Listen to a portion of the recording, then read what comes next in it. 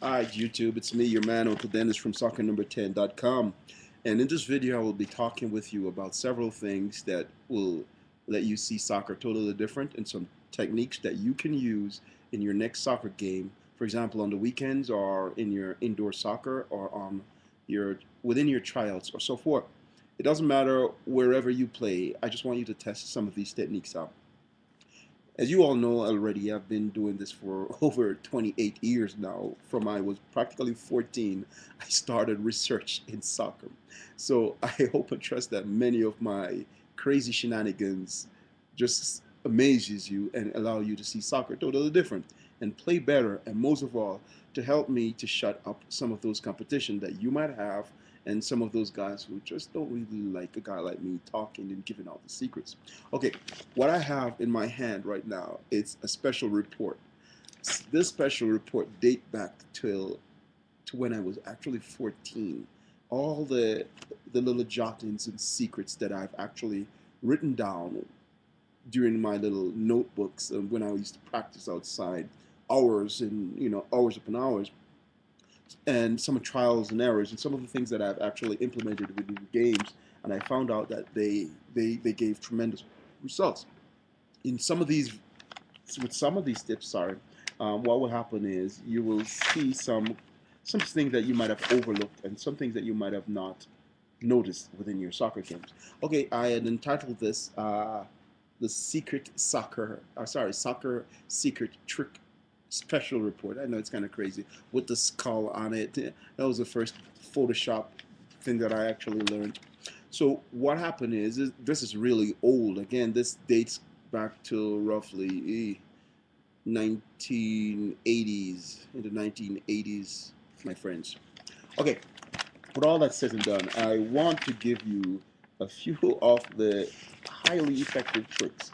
At the beginning of the special report, it talks about uh, soccer trick anxieties, how soccer players somehow defeat themselves by trying to do too much with their tricks and they fail because their mind and their mind is not working in sync with their body. And it sounds like dualism where mind and body must work together. However, um, what happened is some soccer players, they tend to gravitate towards trying to do the tricks that they see on YouTube and then what happened is when they are in the moment of performing or execution of this trick, they fail bitterly because the timing is off. Their their whole preparation for execution is totally wrong.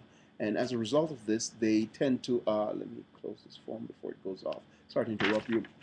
Okay, so many tricks are not executed properly. Players somehow don't time their opponents well.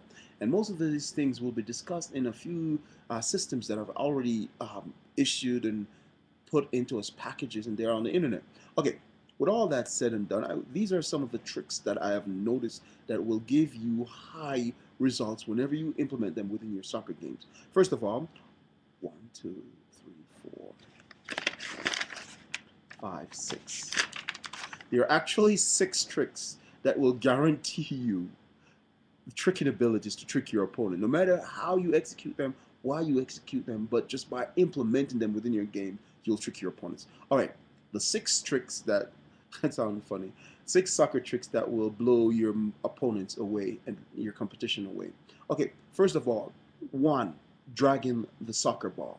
For example, you drag it with your foot, you know, you pull it to the left or the right, but you need to drag it and feint into the direction where you're dragging it okay, I know we need a, a actual video to do this because some players are not physic some players are not mentally sound in their soccer execution because they can't see these tricks in their minds. For those who are on this level, or this advanced level of being able to see the tricks or execution of these tricks in their minds, welcome. Okay, dragging the ball to the left or right, meaning that you're just dragging the ball on the ground.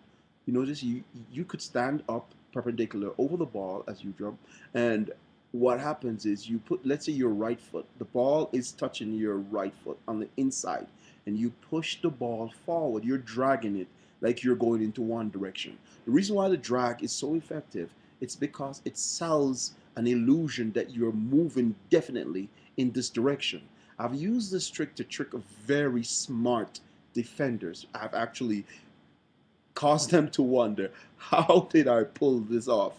But don't worry, dragging the ball via via instep, outer side of your foot, going to the left or going to the right. Dragging the ball or pushing the ball slowly and gently on the ground will give a mental illusion that will trick your opponent. Most of these things were discussed in soccer num- in the soccer number 10 blueprint book and in the soccer number 10 training program where we made mention on the topic of vision awareness, how you're, you you view the ball as you're moving and how your opponents or smart defenders sees you as you are moving with the ball and how you can distort their interpretations of these movements.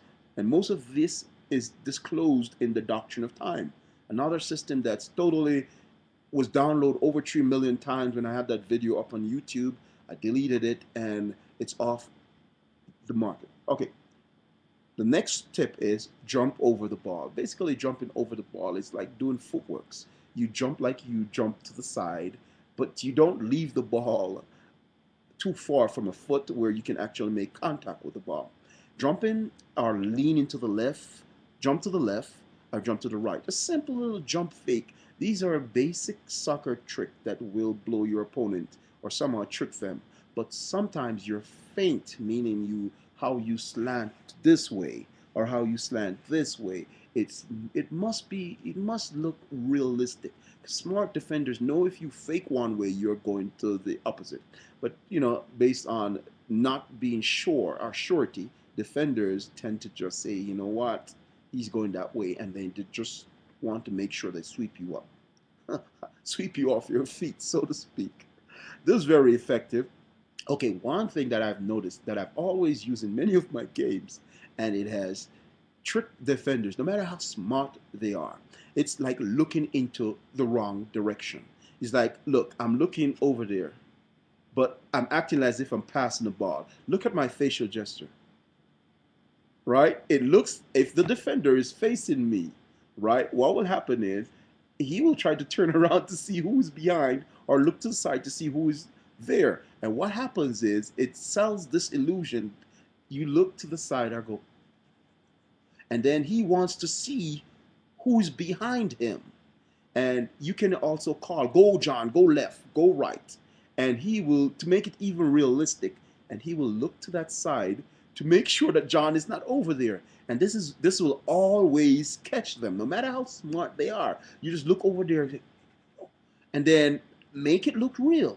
Try it in your next game, and you will see how phenomenal it is. And it will blow you away. If you are in a position where you're going through the midfield and the defender is standing there looking at you, what you need to do is look to the left, look and act. and then he will somehow once he looks around, it's your time to make the break to the right or get past him and take a shot. This works in the 18 yard box. This works in the the the uh, the semicircle near the half line where you trick the first line of defense, the midfielders, and you can open up on the flank and attack on the flank. Okay, this last one that I will give you quick because I don't want this video to go get too long. It's calling for help. You know, uh, it's it's it's it's so funny that within one of my game, it was like a championship game basically, where I was just acting like crazy. I was like, somebody help me! Act like I didn't know what I'm doing. Give me a play, give me a play, and I was actually saying it. Can somebody give me a play? Help! Help! Help! So what happens is when you need help, you appear to be weak, like you don't know what you're doing, you're a rookie, and you're selling this deception. Remember, remember this. If you don't remember anything out of this video, remember, soccer is a game of deception. And if you can trick your opponents, you can blow them out of the water, pass them, take a shot at goal, and you can do anything you want. It's not just doing the tricks footworks and all these things that get past, past opponents. You can get past them with any mental trick or let them trick themselves, as we'll disclose in the doctrine of time, the, the ultimate soccer internal tricking system. Okay, to cut this video short, we have just covered dragging the soccer ball, jumping to the left or the right, looking into the wrong direction, call for help, meaning act vulnerable. I will try to cut this video short because of YouTube. Uh, you can change your pace act like you are taking a shot.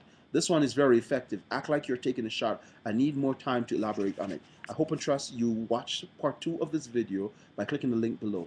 Thank you very much. My name is Dennis Lee. I hope and trust these tips, techniques, sorry, help you.